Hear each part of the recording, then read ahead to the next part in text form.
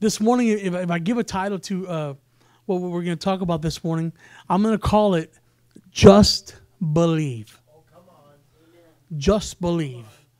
Um, you know, and uh, we're going to go on a journey. So I want you, I want your hearts to be open this morning to be able to receive what it is that I'm going to share.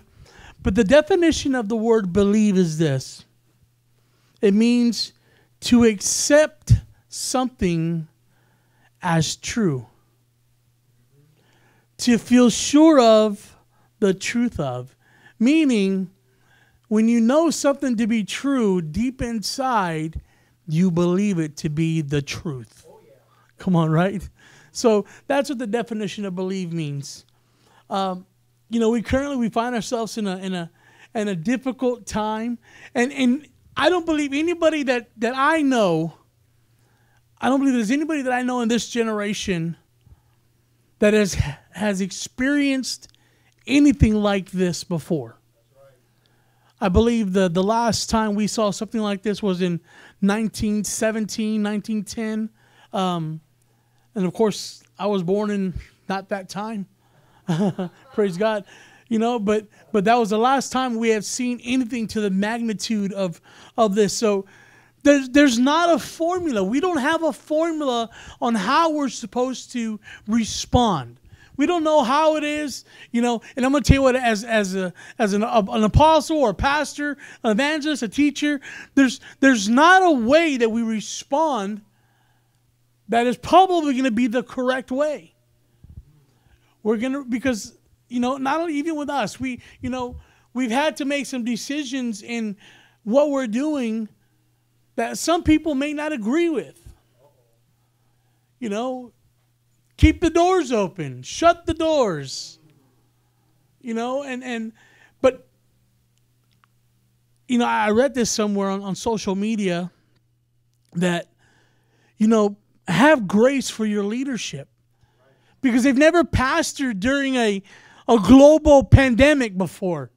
They've never had to make a decision based on what's happening and on this global scale of of this this viral infection that we're seeing all over the world. We have never had a generation have to endure what it is that we're going through right now. And we're all going through it together. Every one of us. Every one of you that's watching. You know, in Matthew 24, Matthew 24, it speaks about a great tribulation that's to come.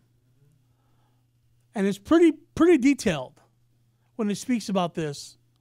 Then in Daniel 12, it speaks about great, the great darkness that's going to cover the earth. It talks about the great darkness that covers the earth. And you know, I don't like to watch the news but because we have to fall under certain guidelines and, and regulations, I'm forced to watch the, the governor as he comes out every day with his briefing. He comes out with a briefing, and then after he comes out with the briefing, then he comes out with the medical professional that comes in, Dr. So and so, comes forth, and she begins to deliver her statistics and the global uh, everything that's happening, and they call them models. Well, according to this model, this is what's going to happen. And according to this model, we're going to see this happen. And see, what's happened is Daniel 12 talks about that there would be a time that would come that the darkness would cover the earth. He says, darkness will cover the earth. So they come and they bring this map on. They put this big old map and they show now this is the hot spot. And this is another hot spot. And, and before you know it, the whole map is covered and it's dark. It's like this darkness has covered the map.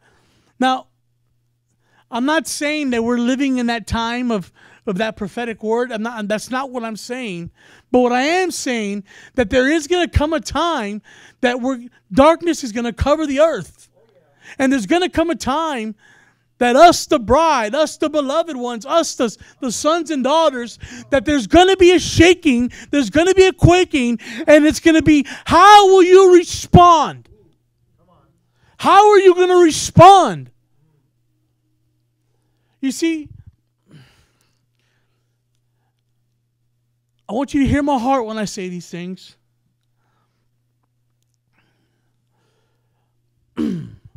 how we respond is how the world is going to see us. I read something today a friend of mine wrote, and he said, We were not created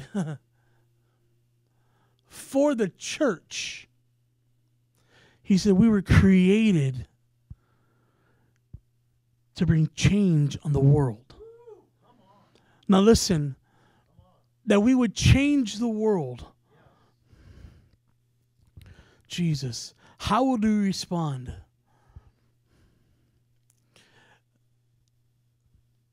And I ask this question because it may sound a little bit harsh, but I'll say this. Do you really believe? I'm, uh, and I'm, I'm speaking to those that are watching right now.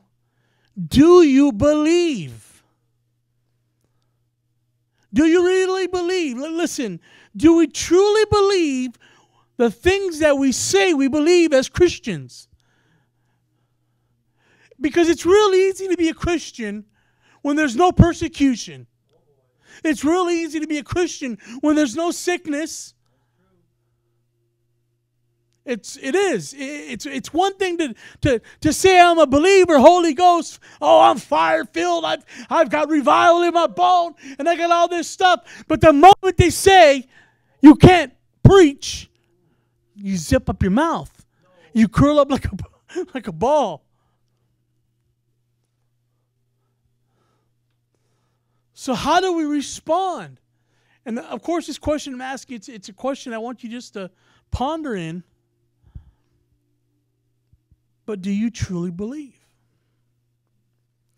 So before we get started, let's pray. Jesus.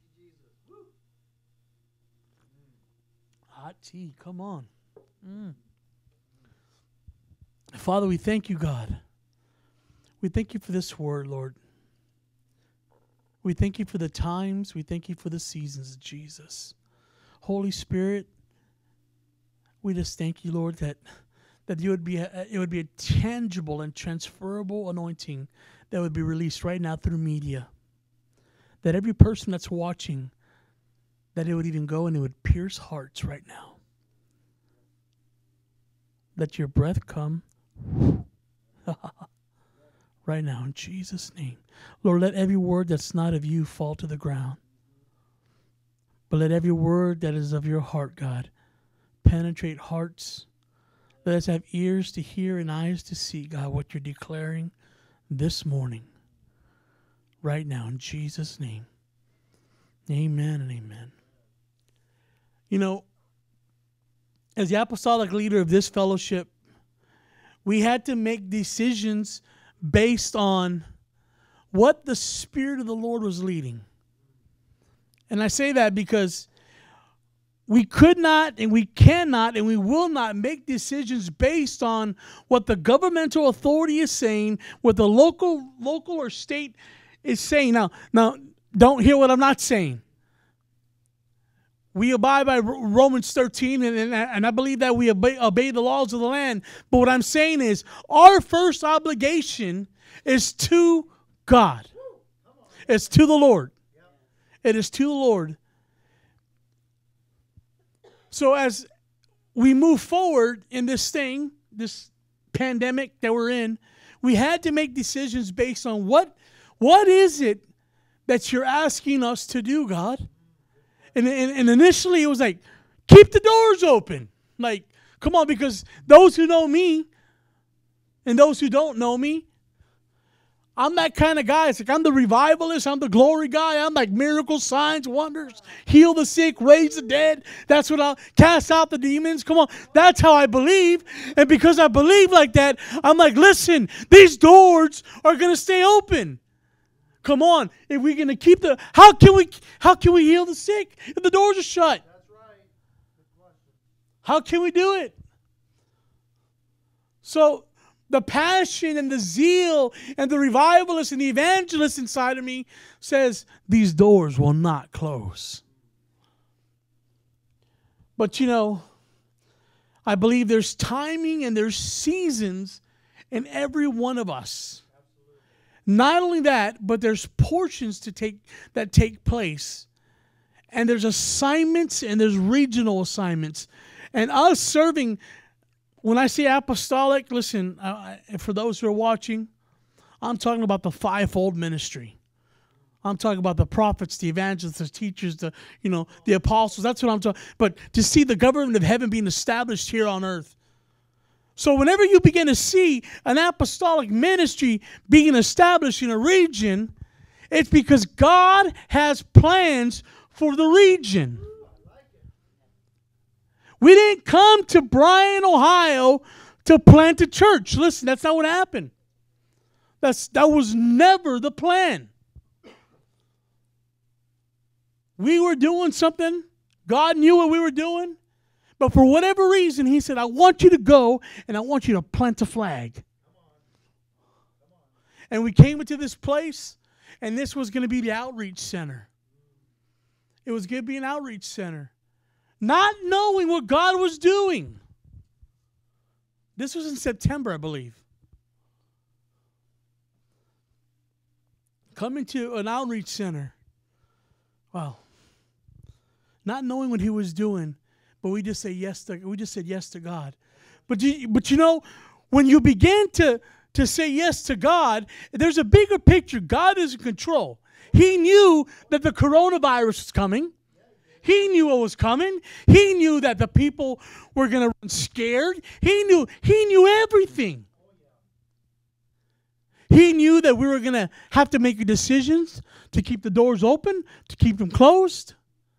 He knew that everybody was going to go to media. He knew. So we come and we're, we're, we're, we're planting a flag.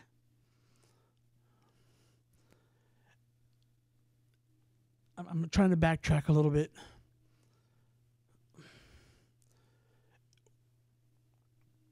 In us doing that, we didn't know what it was supposed to look like. We had no idea what we were what we were supposed to do, other than like every day was a new day. And uh, but see, God had a plan. And the reason why I'm sharing all this is because see, everything that God does is predestined, pre-ordered. God pre he he knows what's to happen way before it happens.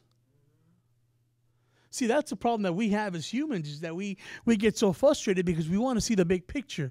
Because I guarantee you, if he shows us the big picture, we, we mess things up. That's what happens. We will, yeah. Jesus.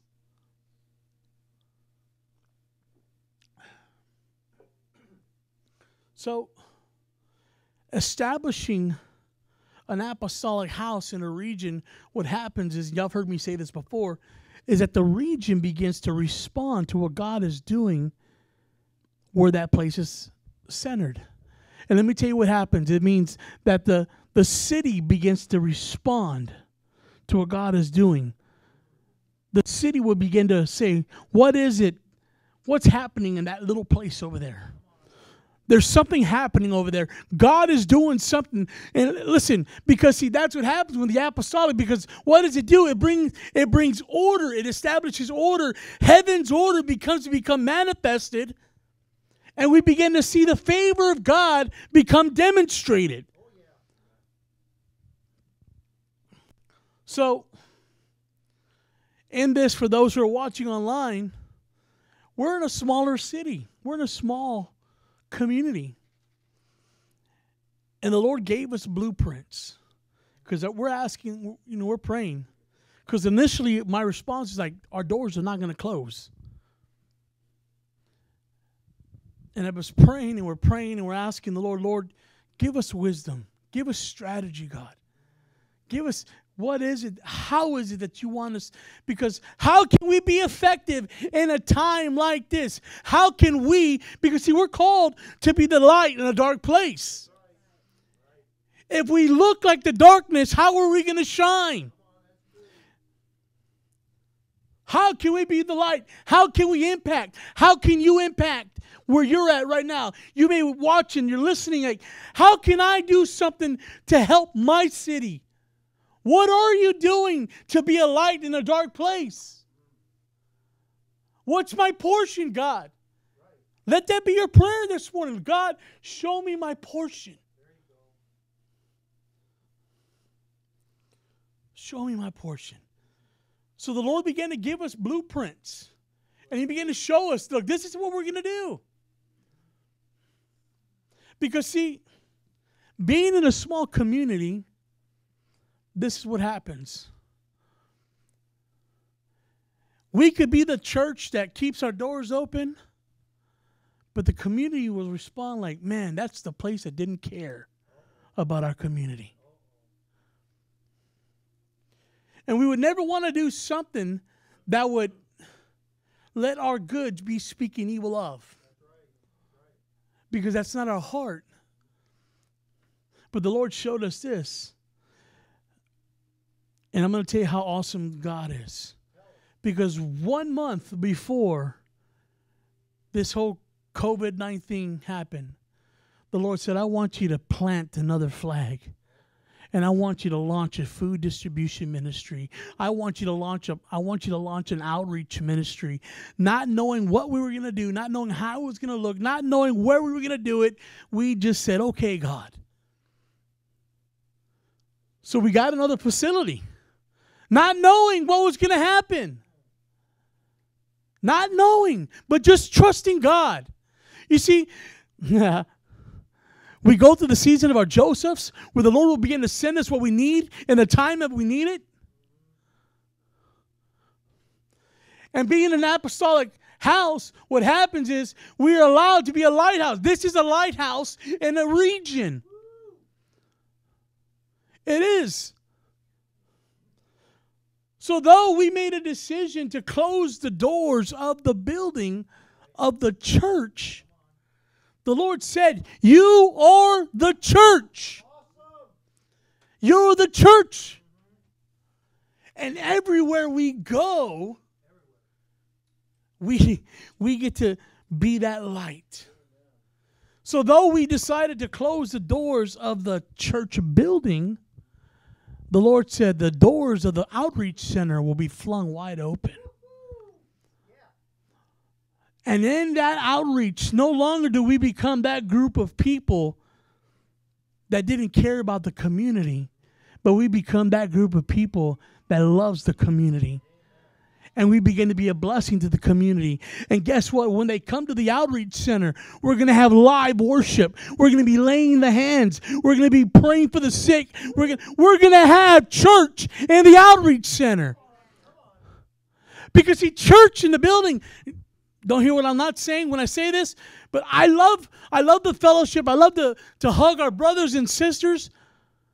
But listen, we need to go and be with the lost. For the one. If we're not chasing after the one, what are we chasing after? What are we doing with what, we, what we've been given? We have an inheritance of the kingdom of heaven, and we're just holding on to it, and we become spiritually obese because we do nothing with what's been given to us.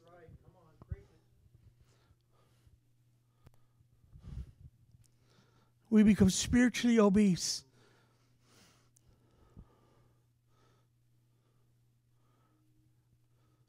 So I challenge you. You know, in this time, we see people.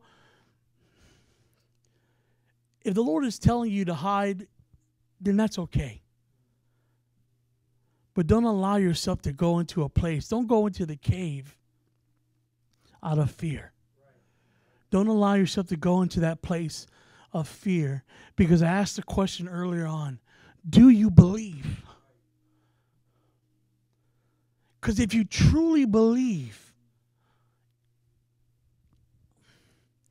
I'm going to get started with this. Hold on. Jesus.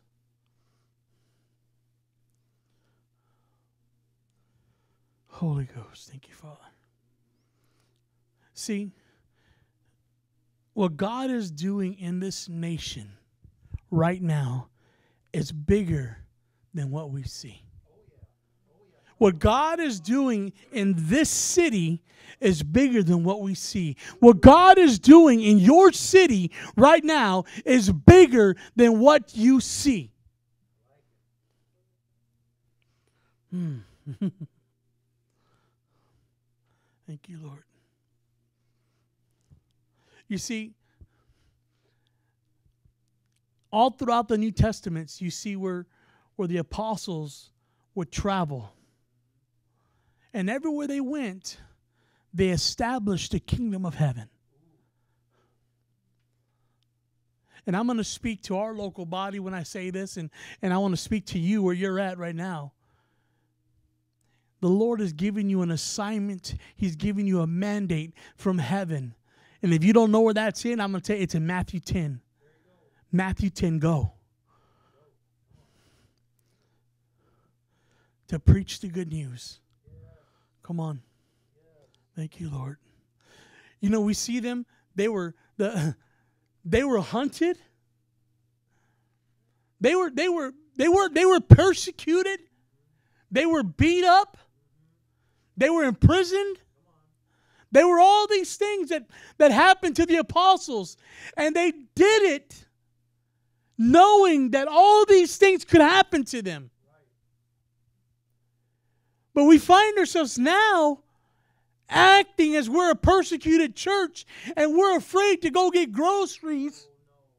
Listen, I'm not saying uh, I'm not saying not to use wisdom, but what I'm saying is if what you're doing is being done because of fear, then you've already lost it. You've already lost it.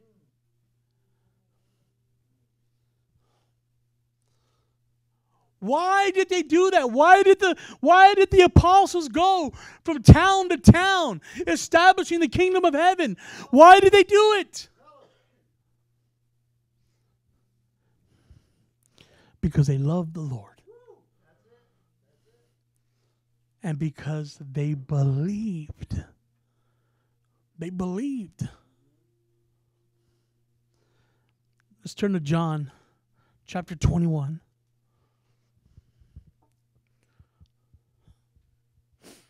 Holy Ghost. Thank you, Lord.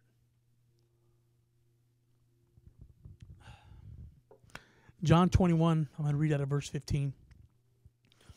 and it says, After breakfast, Jesus asked Simon Peter, Simon, son of John, do you love me more than these? Yes, Lord, Peter replied. You know I love you. Then feed my lambs. Jesus told him. Then Jesus repeated the question Simon, son of John, do you love me? And Peter says, Yes, Lord. You know that I love you. And then Jesus, and then Simon, son of John, do you love me? He says, Yes, Lord, you know I love you. And then Jesus tells him, Then take care of my sheep. Then Jesus says a third time, and he asked him, Simon, son of John, do you love me? And Peter got hurt. It says he got hurt. It says he got hurt. Jesus asked the question a third time. He said, Lord, you know everything. You know that I love you. Then Jesus said, Feed my sheep. There's a generation right now out there that is dying. Right there where you're at in your city, there's a generation out there that is dying, waiting for you and I. Jesus is asking you this morning, Do you love me? Yes, God, you know I love you. Then feed my sheep. No, no, no. Do you really love me? God, you know I love you. Then feed my sheep. And then God, Jesus asks again, Do you love me? Do you really, really love me? And then we're God, why are you asking me so many times? You know I love you. Then feed my sheep.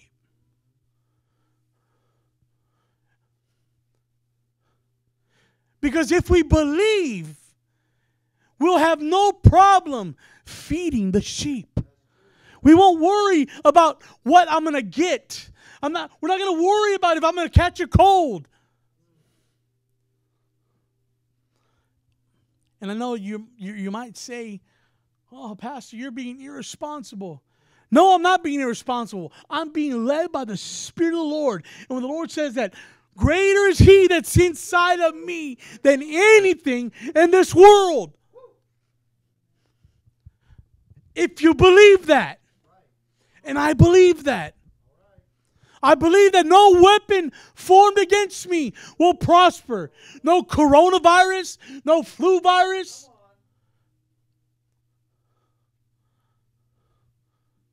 I believe that. Do you believe? Well, that was back in the time of Jesus. We are in that time. Come on.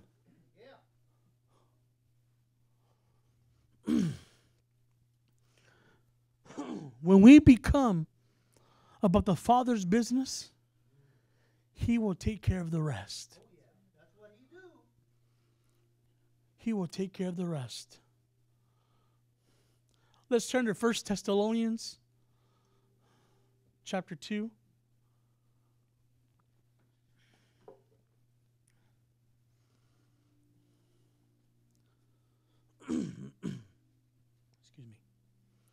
1 Thessalonians chapter 2, I'm going to read out of verse 13. and we also thank God continually because when you received the word of God, which you heard from us, you accepted it not as human word, but as it actually is the word of God, which indeed at work in you who believe. that means this the word of God is alive and it is in work inside of you and I who believe. That means that it's working inside of us because we believe. And if it's working inside of us, nothing can come against us.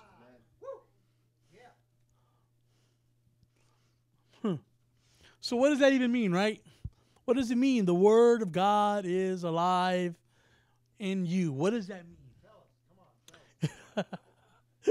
Let's turn to John 1.14. Come on. Holy Ghost. Thank you, Father. You're so good. John verse 114 says, So the word became human and made his home among us. He was full of unfailing love and faithfulness, and we have seen his glory, the glory of the Father's one and only Son. So, what does it mean for God's Word to be alive in you? The Word became human and made his home amongst us, that it was full of unfailing love. When the Word of God is inside of us, we are full of God's unfailing love. Come on, man. Unfailing love. We are full of His faithfulness, and we have seen His glory. That means we are filled with His glory. And if we are filled with His glory, what comes in the glory? Everything. The glory of God resides inside of you and I, that means that everything that Jesus did and you can do. You can do. You know when the glory of God comes? When you're in the glory, it everything becomes manifest. Listen, these are not just words that I'm saying, guys. I believe this. I live by this. I truly believe this. When the glory of God comes, we step into a whole nother realm and heaven becomes manifested. Manifested. Man, I don't know if you can imagine what that looks like.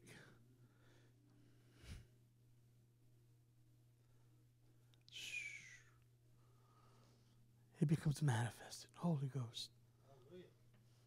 Luke 4:18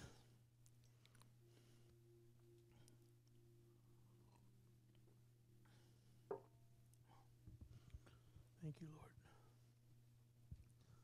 Lord. Luke 4:18 says, "The spirit of the Lord is upon me, for he has anointed me to bring the good news to the poor. He has sent me to proclaim the captive that the captives will be released and that the blind will see and that the oppressed will be set free and that the time of the Lord's favor has come." Come on, guys. That's now. The time of the Lord's favor is now. Why? For those who believe. Do you believe? That's what the question is. Just believe this morning. Just believe. It's simple.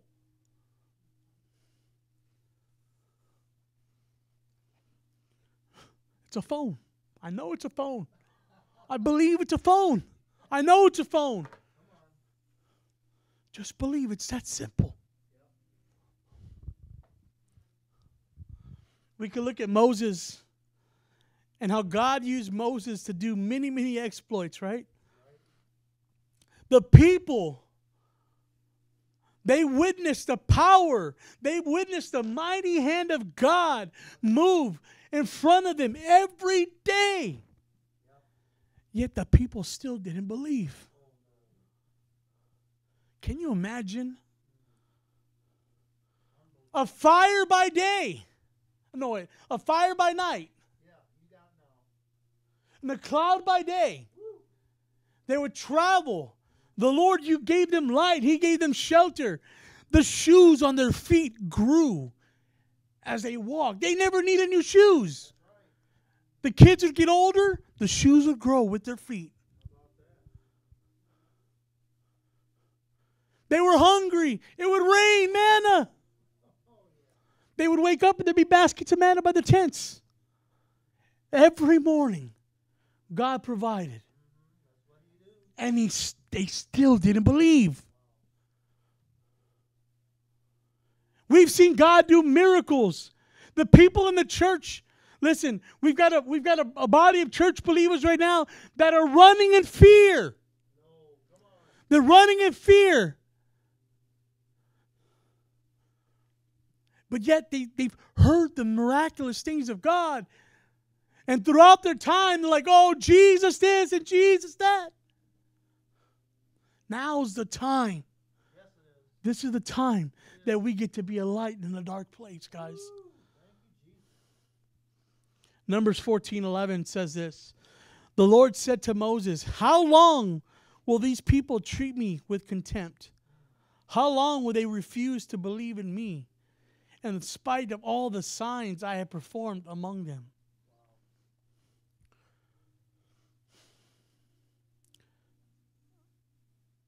The opposite of believe is unbelief. The people in that time saw God do miracles and signs and wonders, and they still didn't believe. The spirit of unbelief came upon them. And because unbelief came upon them, they wandered in the wilderness for 40 years. Unbelief is rooted in fear. Fear is the lack of faith. And faith and all of these leads to rebellion. Even in that time, we see they became fearful. The people. They, they, they, they created their own God. We know the story. What did they do? They moved in rebellion. They moved in rebellion. Unbelief will cause you to move in rebellion. It'll cause you to make decisions and do things that are outside the character and the nature of God. Do you believe this morning? Because if you're not believing, or what are you believing in? Because if you don't believe in what the Word says, then you're moving in the spirit of unbelief. And unbelief is of is what? It's a spirit of, of rebellion. And what is rebellion? The spirit of witchcraft.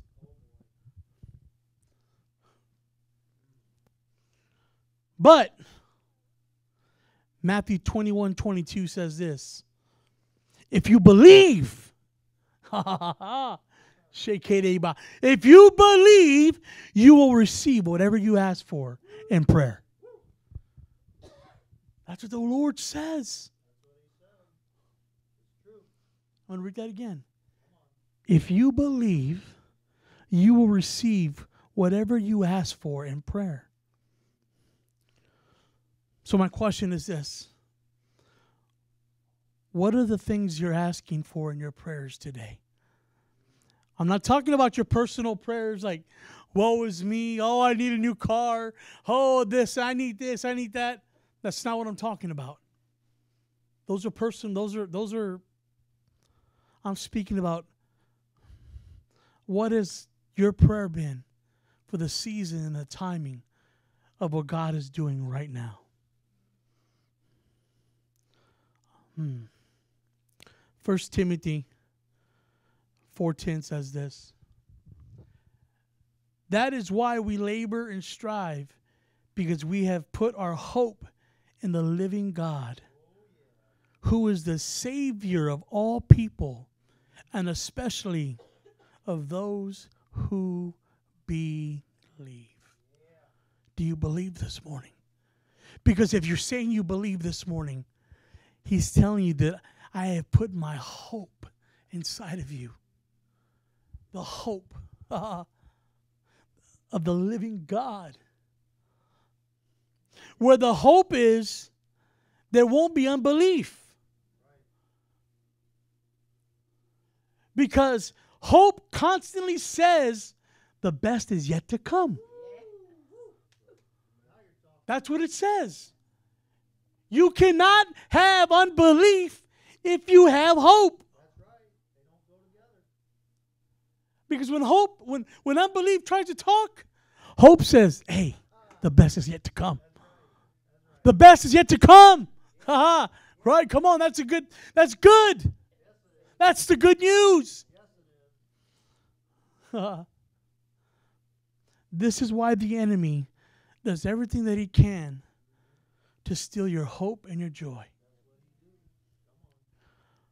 Proverbs 13 12 says this Hope deferred makes your heart sick, but a dream fulfilled is the tree of life. So, what does that mean right there? It means that hope is being compared to a dream being fulfilled. Come on. Your the hope of the Lord is that it's a dream being fulfilled.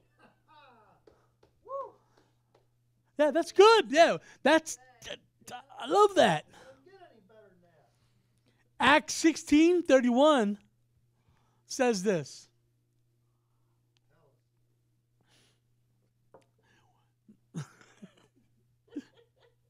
Yeah. Come on, Jesus. Oh, Lord. Lordy, Lordy, Lordy. I done just lost my place. 1631. Okay, here we go, Jesus. I just done did it. Um, Acts 1631 says, They replied, Believe in the Lord Jesus and you will be saved. You and your household. That word saved, it's not just speaking about being converted to, to, to be with the Lord. It's talking about everything that you could possibly be needing to be saved from.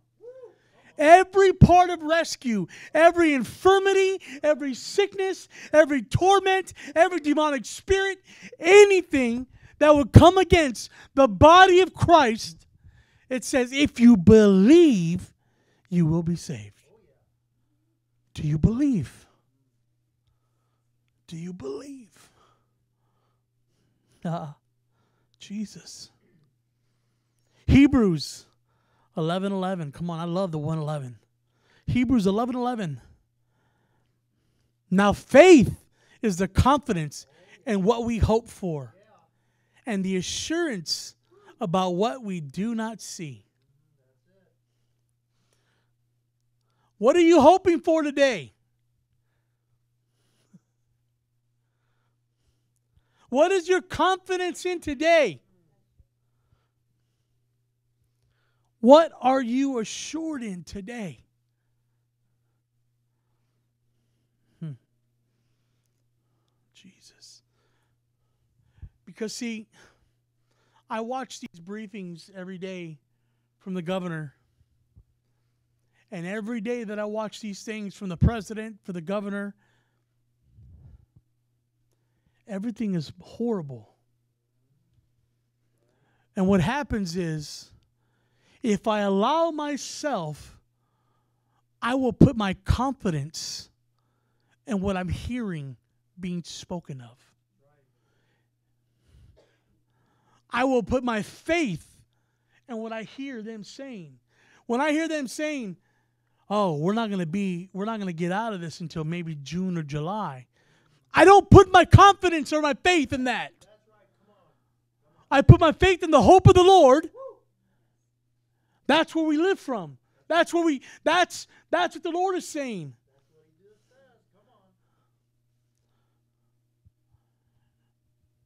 What are you putting your confidence in? What is our, our assurance today? What is I'm going to tell you what it is. It's the word of the Lord. We said it from the very beginning. It's the word of the Lord. What the word of the Lord says, that is what you put your faith in. That is what you put your confidence in. That is what you put your assurance in. Holy Ghost. Every day they talk about the models of death. Well, by this date, and I, keep hearing, this is going to be a very bad week for our nation this is going to be a very hard time for us all.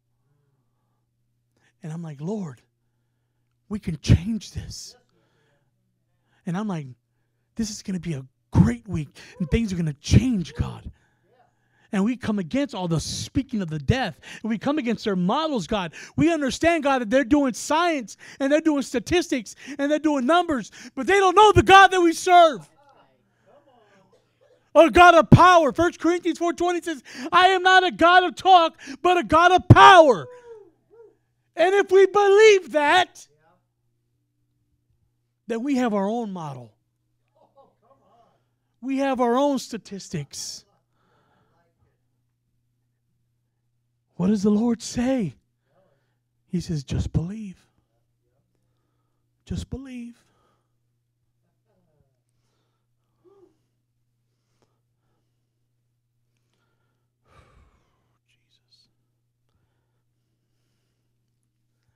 As believers, we must be full of hope and faith. We must not be moved by what we see, but rather by what God sees and says. So I ask you this question Do you believe?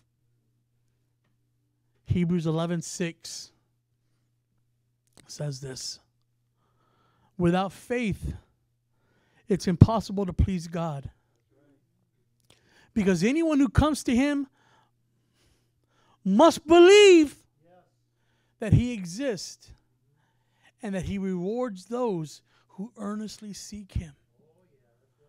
So, what do you do in a time of chaos? You don't draw away from the Lord. You earnestly seek him. You dig deeper. You go deeper. God, what's in your heart, God? What do you have for, for Ohio, God? What do you have for California, God? What do you got for all the cities in New York, God? Los Angeles, God? What do you have? What are you speaking? Because I know in the midst of everything, God has a bigger plan. He's got a bigger plan. He's not some weak God that sits on the throne just playing with his fingers. No, no. He's in control. He's in control. I'm going to be closing up. So I love uh, one of my favorite scriptures is John 11. And I'm going to read out of a uh, 39.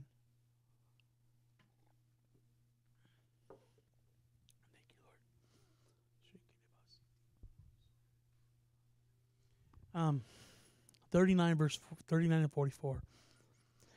And this is Jesus going to see Lazarus. He's already died. And the woman's telling Jesus, to just paraphrase this part. And he's already been dead like four days. His body's in the smell. And then Jesus responds to her. And he says, Jesus responded, Didn't I tell you that you would see God's glory if you just believe? See, there's that word glory again. Glory and believe, they hold hands together. I feel the glory Come on. Come on. They hold hands together. And where the glory of God is, comes when you believe. He says, Didn't I tell you that, if, that you would see God's glory if you just believe? So then they rolled the stone aside. And Jesus looked up to heaven and said, Father, thank you for hearing me. You always hear me. But I said it out loud for their sake for all the people standing here so they would believe that you sent me. Come on, man. That you sent me. Then Jesus shouted, Lazarus, come out.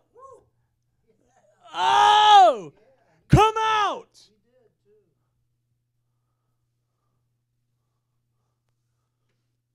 And a dead man came out, and his hands and feet bound in the grave clothes, and his face wrapped in the headcloth. Jesus told them, Unwrap him and let him go. set him free. But see, when you believe, you see the glory. And what does the glory do?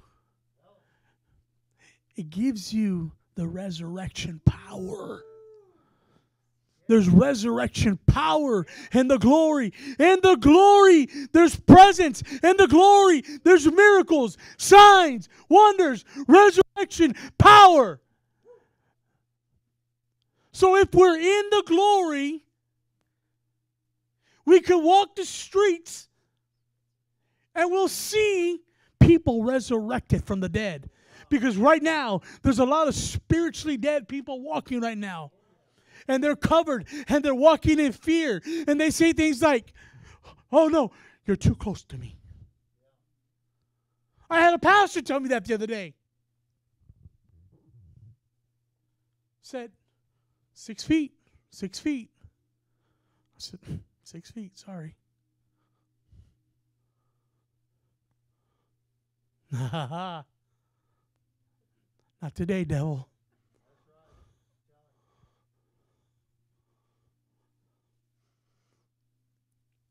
Resurrection.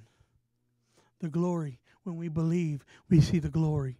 The glory gives you access to everything that the throne carries. And then what happens is you get to go around and you to tell people, take off your slave clothes, take off the grave clothes, take off those wrappings, take off the bondages because you are set free today. Isaiah 40 31 says this But those who hope in the Lord will renew their strength, and they will soar on the wings like eagles. They will run and not grow weary, and they will walk and not be faint. Come on. When you're walking in the hope of the Lord, you will soar.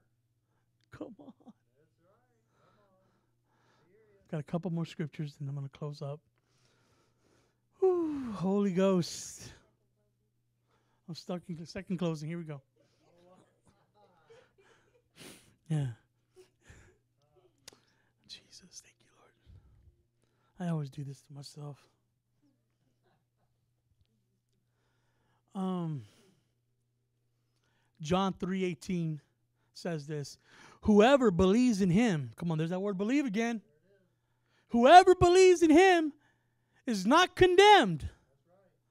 But whoever does not believe stands condemned already. Let, us think about that.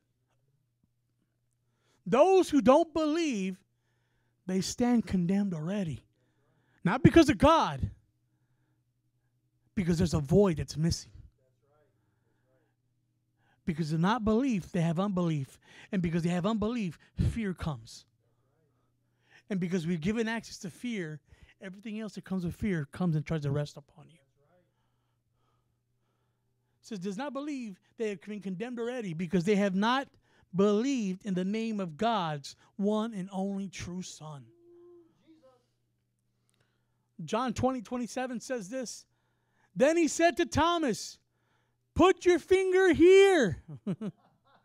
See my hands. Reach out your hands and put them into my side. Stop doubting.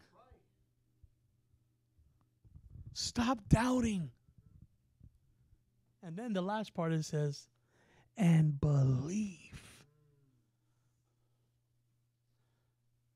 He walked with Jesus.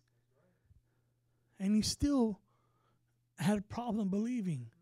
That's how strong this spirit of unbelief is that they walked hand in hand with the Lord and they still didn't believe. That's why it's important that you abide yourself with the, with the Lord. That we would be woven, like Colossians says, that we would be woven in this tapestry of love. John 20, 31.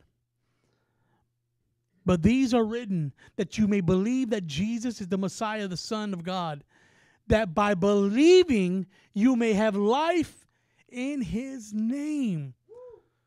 So you mean to tell me not only do I get everything else, but if I believe, I get life?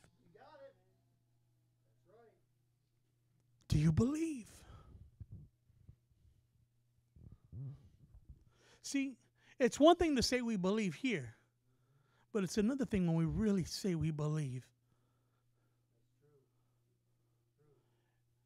Believing is in everything. Believing is not just in what you do on a Sunday morning. Believing is not is not just what you do when people are around. Believing is in everything. What about what oh, here's one. What about even in your giving? I believe, but I won't give. Uh-oh. Come on.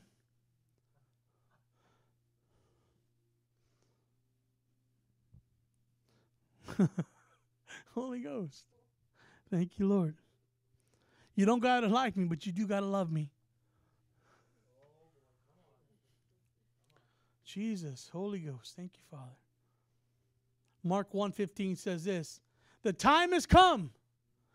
He said, "The kingdom of God has come. Repent and believe the good news." Believe the good news. That's pretty important. That we believe what we say, right? Come on.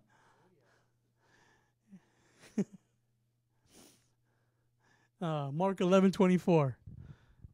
I got two more scriptures. That's it. I'm going to pray. Therefore, I tell you, whatever you ask for in prayer, believe that you have received it and it will be yours. Come on. That's good. Matthew 18 6.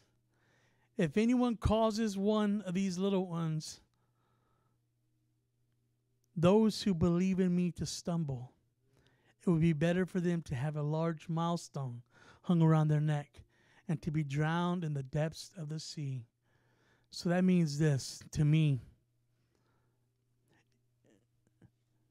Jesus, God the Father, is pretty, pretty serious about you believing.